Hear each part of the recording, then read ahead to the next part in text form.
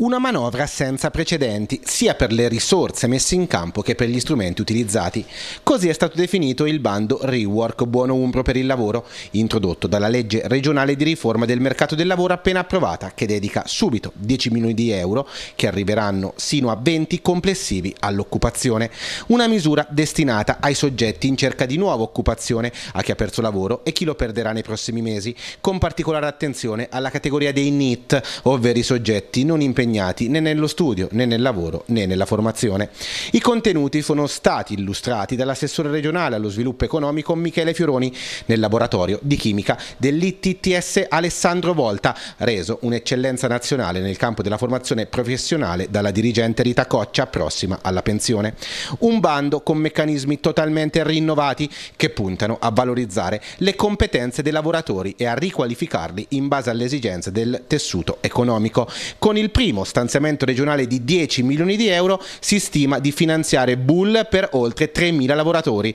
2 milioni sono destinati all'erogazione di Bull rilasciati nell'area regionale ex Merloni e altri 2 milioni per l'area di crisi complessa di Terni e Narni. Una misura importante, 10 milioni di euro, la misura nella sua complessità ne prevederà fino a 20, almeno 20 e eh, è una misura che eh, vuole introdurre il buono umbro eh, sul lavoro che abbiamo istituzionalizzato nella revisione della legge regionale di Arpal e rappresenta una misura per favorire il reinserimento nel mercato del lavoro dei soggetti che ne sono fuori, nei soggetti disoccupati, ma soprattutto l'elemento innovativo anche nei cosiddetti NIT, giovani che non sono attualmente inseriti né nei percorsi formativi né nel mondo del lavoro e che sappiamo rappresentano una piaga sociale perché eh, sono giovani nella, quindi nella fase più creativa di maggiore energia della loro vita che però sono fuori da qualsiasi costruzione di percorso professionale e vuol dire anche di vita.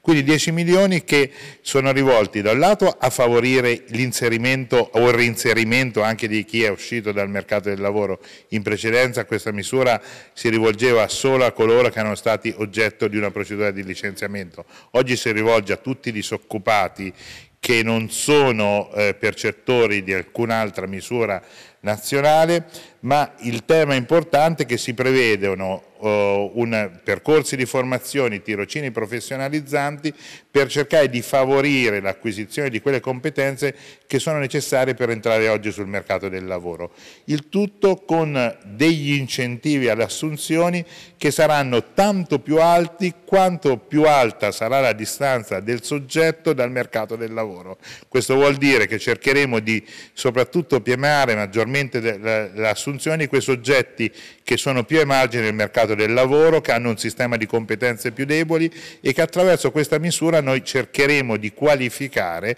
eh, in maniera importante. L'altro tema importante è quello del, eh, dei soggetti anche che sono in cassa integrazione ma in contesti di crisi ormai molto consolidata. Abbiamo visto che nelle ultime crisi che hanno rivestito il territorio spesso che sono durate anche alcuni anni con la cassa integrazione non sono stati mai attivati percorsi di riqualificazione professionale. Noi invece vogliamo intervenire prima che sia troppo tardi cercando di favorire la riqualificazione professionale e un veloce reinserimento anche nel mercato del lavoro.